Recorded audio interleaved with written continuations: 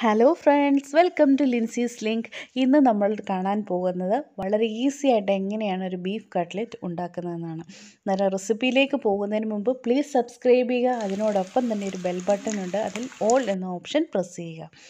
ഞാനിവിടെ ബീഫ് ഉപ്പും കുരുമുളകും മുളക് പൊടിയും ചേർത്ത് പുഴുങ്ങിയതിന് ശേഷം ഇത് ചെറുതായിട്ടൊന്ന് മിൻസ് ചെയ്ത് വെച്ചിരിക്കുകയാണ് ഇത്. പിന്നെ നമുക്ക് വേണ്ടത് ഇഞ്ചിയും വെളുത്തുള്ളിയും ചെറുതായിട്ട് ഇതേപോലെ കൊത്തി അരിഞ്ഞ് വെക്കുക.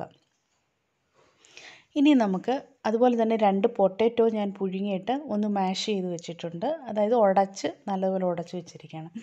നല്ല കട്ടിയുള്ളൊരു പാൻ വെച്ചിട്ടുണ്ട്. അതിൽ പാൻ ചൂടായതിന് ശേഷം നമുക്ക് രണ്ട് ടേബിൾ സ്പൂൺ വെളിച്ചെണ്ണ ഒഴിച്ചു കൊടുക്കുക. വെളിച്ചെണ്ണ നല്ലതുപോലെ ഒന്ന് ചൂടാകണം.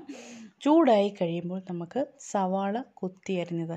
ഇവിടെ ഞാനൊരു രണ്ട് സവാള എടുത്തിട്ടുണ്ട്. ഇത് ചെറുതായിട്ട് കുത്തി അരിഞ്ഞ് ഇതാണ് ഞാനിതിലേക്ക് ചേർത്ത് കൊടുക്കുന്നത്.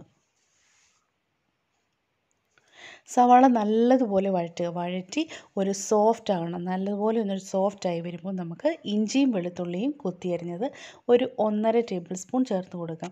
ഇഞ്ചി ഇഞ്ചിയുടെ അളവായിരിക്കണം നമ്മൾ കൂടുതലായിട്ട് ചേർക്കേണ്ടത്. എസ്പെഷ്യലി ബീഫ് ആയതുകൊണ്ട് ഇഞ്ചി കുറച്ച് മുൻപോട്ട് നിൽക്കണം. അതുകൊണ്ട് തന്നെ ഇഞ്ചി ഞാനിവിടെ ഇഞ്ചിയും വെളുത്തുള്ളിയും ഇഞ്ചിയാണ് അതിൽ കൂടുതലുള്ളത്. ഓക്കെ അത് ഞാൻ ചെറുതായിട്ട് അരിഞ്ഞതാണ് ചേർത്ത് കൊടുത്തേക്കുന്നത്. അതിനോടൊപ്പം നിങ്ങൾക്ക് വേണമെങ്കിൽ പച്ചമുളക് ചെറുതായിട്ട് അരിഞ്ഞത് ചേർത്ത് കൊടുക്കാം.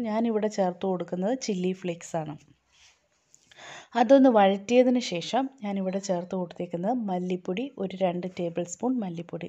മല്ലിപ്പൊടി വഴറ്റി അതിന്റെ പച്ചമണം നല്ലതുപോലെ മാറി മല്ലിപ്പൊടി ഒന്ന് മൂത്ത് കിട്ടണം. ആ ഒരു ഇത് അത്രയും നേരം നമ്മളൊന്ന് വഴറ്റി കൊടുക്കണം. അതൊന്ന് മൂത്ത് കഴിയുമ്പോൾ നമുക്ക് മുളക് പൊടി ചേർത്ത് കൊടുക്കാം. മുളക് പൊടി ഞാനിവിടെ ഒരു ടേബിൾ സ്പൂൺ മുളക് പൊടിയാണ് ചേർത്ത് കൊടുത്തിരിക്കുന്നത്. മുളക് പൊടിയും ചേർത്ത് നല്ല മസാലയൊക്കെ ഒന്ന് മൂത്ത് കഴിയുമ്പോൾ നമുക്കിതിലേക്ക് നമ്മുടെ പൊട്ടാറ്റോ മാഷ് ചെയ്ത് പൊട്ടാറ്റോ പുഴുങ്ങിയതിന് ഉപ്പ് ചേർത്ത് പുഴുങ്ങിയതിന് ശേഷം ഒന്ന് ഉടച്ച് വെച്ചിരിക്കുകയാണ്. അതും കൂടെ ചേർത്ത് നല്ലതുപോലെ ഇളക്കുക. ഇതിനോടൊപ്പം നമുക്ക് കുറച്ച് ക്യാരറ്റ് അതായത് ഞാനിവിടെ ഒരു ക്യാരറ്റ് ചെറുതായിട്ട് പൊടിയായിട്ട് അരിഞ്ഞതാണ് ഇതിലേക്ക് ചേർത്ത് കൊടുത്തിരിക്കുന്നത്. അതായത് ക്യാരറ്റും കൂടെ ചേർത്ത് നമുക്ക് നല്ലതുപോലെ ഒന്ന് മിക്സ് ചെയ്ത് കൊടുക്കാം. നമ്മുടെ പൊട്ടാറ്റോയും ക്യാരറ്റും അതുപോലെ സവാളയും മസാലയും എല്ലാം കൂടെ ഒന്ന് മിക്സ് ചെയ്ത് നല്ലതുപോലെ എടുക്കാം. ഓക്കെ? അന്നേരം ഞാനിവിടെ നല്ലതുപോലെ ഒന്ന് മിക്സ് ചെയ്ത്. അതിൽ അതിന്റെ കൂടെ നമുക്ക് കുറച്ച് ഗരം മസാല അതായത് നമ്മൾ ഫ്രഷായിട്ട് പൊടിച്ചത് ചേർക്കുകയാണെങ്കിൽ ഏറ്റവും നല്ലത്. എന്നിട്ട് ഞാനിവിടെ ഗരം മസാല ചേർത്ത് കൊടുത്തിട്ടുണ്ട്. അതും കൂടെ ഒന്ന് നല്ലതുപോലെ മിക്സ് ചെയ്ത് കൊടുക്കുക. ഇനി ഇതിലേക്ക് നമുക്ക് ബീഫ് മിൻസ് ചെയ്തത്.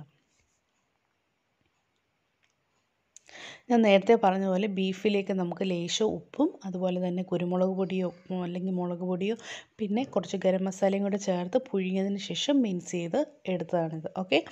ഇനി നമുക്ക് നല്ല ഒരു പിടി മല്ലിയിലയും കറിവേപ്പിലയും കൂടെ ചേർത്ത് കുഞ്ഞായിട്ട് അരിഞ്ഞതായത് കേട്ടോ. അത്ര നല്ല പൊടിയായിട്ട് അരിഞ്ഞതും കൂടെ ഇതിലേക്ക് ചേർത്ത് നല്ലതുപോലെ മിക്സ് ചെയ്ത് കൊടുക്കുക. കാരണം ഇലയൊക്കെ മല്ലിയിലയൊക്കെ എല്ലാ ഭാഗത്തും എത്തണം. അതുകൊണ്ട് നല്ലതുപോലെ മിക്സ് ചെയ്ത് കൊടുക്കുക. നല്ലതുപോലെ മിക്സ് ചെയ്ത് കൊടുത്തിരിക്കുകയാണ് ഇവിടെ. നമുക്ക് ഉപ്പും എരിയും ഒക്കെ ഈ സമയത്ത് നമുക്കൊന്ന് നോക്കാം. ഉപ്പ് കുറവുണ്ടെങ്കിൽ ലേശം ഉപ്പ് ചേർത്ത് കൊടുക്കുക. അതുപോലെ തന്നെ എരി കുറവാണെങ്കിൽ നമുക്ക് കുരുമുളക് പൊടിയോ അല്ലെങ്കിൽ ലേശം ചില്ലി ഫ്ലേക്സോ ഒക്കെ ചേർത്ത് കൊടുക്കാം. ഞാനിവിടെ കുറച്ച് കുരുമുളക് പൊടിയും കൂടെ ചേർത്ത് കൊടുക്കുകയാണ്. അന്നേരം കുരുമുളക് പൊടിയും കൂടെ ചേർത്ത് നമുക്ക് നല്ലതുപോലെ മിക്സ് ചെയ്ത് നല്ലതുപോലെ കാരണം എല്ലാ ഭാഗത്തും നമ്മുടെ ഈ മുളക് ഉപ്പും കുരുമുളക് പൊടിയും എത്തണം തരം നല്ലതുപോലെ ഒന്ന് വഴറ്റി ഒന്ന് മിക്സ് ചെയ്ത് എടുക്കുക. ഞാനിതൊന്ന് പ്ലേറ്റിലേക്ക് വെച്ചൊന്ന് തണുപ്പിക്കുകയാണ്. കാരണം ഇത് ചൂടോടെ നമുക്ക് കുഴച്ച് ബോൾസ് ആക്കി ഇത് പാറ്റീസ് ആക്കാൻ ബുദ്ധിമുട്ടാണ്. അതുകൊണ്ട് ഞാനൊന്ന് പ്ലേറ്റിലിട്ടൊന്ന് തണുത്തതിന് ശേഷം നമ്മൾ ഇതുപോലെ കയ്യിലെടുത്ത് ചെറിയ ചെറിയ ബോൾസ് ആക്കുക ബോൾസ് ആക്കിയതിന് ശേഷം ഒന്ന് കൈ കൊണ്ട് പ്രസ് ചെയ്ത് കൊടുത്ത് ഇതുപോലെ പാറ്റീസ് ഈസി ആയിട്ട് നമുക്ക് ഷേപ്പ് ചെയ്ത് എടുക്കാൻ പറ്റും. കട്ട്ലീറ്റ് മോൾഡോ ഒന്ന് ഒന്നിന്റെയും തന്നെ ആവശ്യം വരുന്നില്ല. നമുക്ക് ഈസി ആയിട്ട് തന്നെ നമ്മുടെ കൈ കൊണ്ട് ഇതേപോലെ പ്രസ് ചെയ്തെടുത്ത കട്ട്ലേറ്റിന്റെ ഷേപ്പ് നമുക്ക് ഏത് ഷേപ്പ് വേണം ആ ഷേപ്പിൽ ആക്കിയെടുക്കാം. റൗണ്ടോ ഓവലോ ഏത് ഷേപ്പ് വേണമെങ്കിലും ഇതുപോലെ നമുക്ക് ചെയ്തെടുക്കാൻ പറ്റും. കൈ കൊണ്ട് ഇതുപോലെ ബോൾസ് ആക്കുക. അതിനുശേഷം രണ്ട് കൈ കൊണ്ടൊന്ന് പ്രസ് ചെയ്ത് ഒരു പാറ്റിയുടെ ഷേപ്പ് ആക്കിയതിന് ശേഷം സൈഡൊക്കെ ഒന്ന് പ്രസ് ചെയ്ത് കൊടുക്കുക. ഇതുപോലെ വളരെ ഈസി ആയിട്ട് നമുക്ക് കട്ട്ലേറ്റ് ആദ്യമായിട്ട് ഉണ്ടാക്കുന്നവർക്ക് തന്നെ ഇത് നോക്കിക്കഴിഞ്ഞാൽ വളരെ ഈസി ആയിട്ട് ഉണ്ടാക്കാൻ പറ്റും. അന്നേരം എല്ലാവരും ഇതുപോലെ ഉണ്ടാക്കി നോക്കും ഞാൻ കുറേ പാറ്റീസ് ഇതുപോലെ റെഡിയാക്കി വെച്ചിട്ടുണ്ട്. ഇനിയും നമ്മൾ ചെയ്യാൻ പോകുന്നത് ഈ പാറ്റീസ് നമ്മൾ ജസ്റ്റ് എഗ്ഗിന്റെ അകത്ത് ഞാനിവിടെ മുട്ടയുടെ മുട്ട ഇങ്ങനെ ജസ്റ്റ് ഒരു ടേബിൾ സ്പൂൺ പാലും കൂടെ ചേർത്ത് ഒന്ന് ഇങ്ങനെ നല്ലപോലെ അടിച്ച് വിസ്ക് ചെയ്ത് വെച്ചിരിക്കുകയാണ്.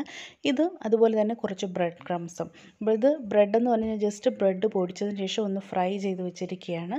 അന്നേരം ഞാനിവിടെ പാറ്റീസ് മുട്ടയ്ക്കകത്ത് മുക്കിയതിന് ശേഷം നമ്മുടെ ബ്രെഡ് ക്രംസിനകത്തും ജസ്റ്റ് ഒന്ന് റോൾ ചെയ്തിട്ട് കൈ കൊണ്ട് തന്നെ ഒന്ന് പ്രസ് ചെയ്ത് കൊടുക്കുകയാണ്.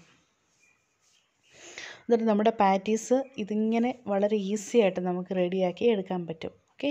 ഒന്നുകൂടെ ഞാൻ കാണിച്ചു തരാം. ഒന്ന് മുക്കുക. അതിനുശേഷം നമ്മൾ ബ്രെഡ് ക്രംസിൽ മുക്കുക. പിന്നെ ഒന്നുകൂടെ നല്ല കോട്ടിങ്സ് പുറത്ത് വേണമെന്നുള്ളവർ ഒന്നുകൂടെ എഗ്ഗിൽ മുക്കിയിട്ട് വീണ്ടും നമുക്ക് പാറ്റീസിൽ മുക്കിയെടുത്താൽ അതിന്റെ ഔട്ടർ കോട്ടിങ് നല്ല തിക്കായിട്ട് ഇരിക്കും. ഞാനിപ്പോൾ അങ്ങനെ തിക്കായിട്ട് എടുക്കുന്നില്ല. വളരെ ലൈറ്റായിട്ട് തന്നെ ഒരു പ്രാവശ്യം ഞാൻ എഗ് വാഷ് എഗ്ഗിലൊന്ന് മുക്കി അതിനുശേഷം ബ്രെഡ് ക്രംസിലൊന്ന് റോൾ ചെയ്ത് എടുത്തു. അന്നേരം പാറ്റീസ് എല്ലാം ഇവിടെ റെഡിയാണ്. ഇനി നമുക്കിതൊന്ന് ഫ്രൈ ചെയ്തെടുക്കാം. ഫ്രൈ ചെയ്യാനായിട്ട് നമുക്കൊരു പാൻ വെക്കാം. അതിലേക്ക് ഞാൻ എണ്ണ ഒഴിച്ചു കൊടുത്തു. നമുക്ക് സൺഫ്ലവർ ഓയിലോ വെളിച്ചെണ്ണയോ എന്തിൽ വേണേലും കട്ട്ലേറ്റ് ഫ്രൈ ചെയ്തെടുക്കാം. അന്നേരം എണ്ണ ചൂടായതിന് ശേഷം ഞാനിവിടെ കട്ട്ലേറ്റ് അതിലേക്ക് എണ്ണയ്ക്കകത്തേക്ക് ഇട്ട് കൊടുക്കുകയാണ്. ഓരോരോ കട്ട്ലറ്റായിട്ട് ഇട്ട് കൊടുക്കുക കാരണം കുറച്ച് സ്പേസ് ഇട്ട് നമ്മൾ കട്ട്ലറ്റ് ഫ്രൈ ചെയ്യുക. അതായിരിക്കും എപ്പോഴും നല്ലത്. ഞാൻ കുറച്ചുകൂടി സ്പേസ് ഉണ്ട്. അതുകൊണ്ട് തന്നെ മൂന്നാൽ എണ്ണം കൂടെ ഇട്ട് കൊടുക്കാൻ പോവുകയാണ്. ഇത് ഇതിപ്പം ഞാൻ ഒരു സൈഡൊന്ന് മൂത്തതിന് ശേഷം മറ്റേ സൈഡും കൂടെ മൂക്കാൻ വേണ്ടി ഒന്ന് തിരിച്ചിട്ട് കൊടുക്കുകയാണ്. അത് നമ്മുടെ കയ്യിൽ ഒരു സ്പൂണോ ഫോർക്കോ എന്താണുള്ളതെന്ന് വെച്ചാൽ അതുകൊണ്ട് ഈസി ആയിട്ട് നമുക്ക് തിരിച്ചിട്ട് ഇതുപോലെ നമുക്ക് ഫ്രൈ ചെയ്ത് എടുക്കാൻ പറ്റും.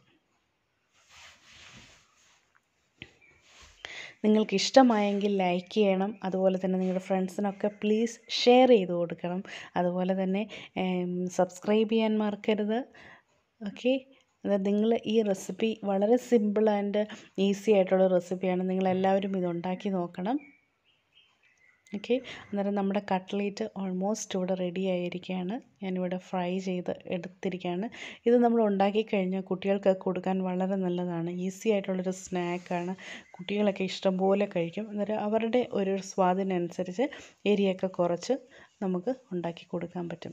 നമ്മുടെ കട്ട്ലേറ്റ് ഉണ്ടാക്കി വെച്ചാൽ മതി. അപ്പം തന്നെ കാലിയായി പോകും. ഇത് നമുക്ക് ടൊമാറ്റോ കെച്ചപ്പിന്റെ കൂടെയോ അല്ലെങ്കിൽ ചപ്പാത്തിയുടെ കൂടെയൊക്കെ കഴിക്കാൻ വളരെ നല്ല ഒരു ഹെൽത്തി സ്നാക്കാണ് അതിന് താങ്ക് യു ഫോർ വാച്ചിങ് അതുപോലെ തന്നെ സബ്സ്ക്രൈബ് ചെയ്യണം ലൈക്ക് ചെയ്യണം ഷെയർ ചെയ്യണം. Bye see you in next video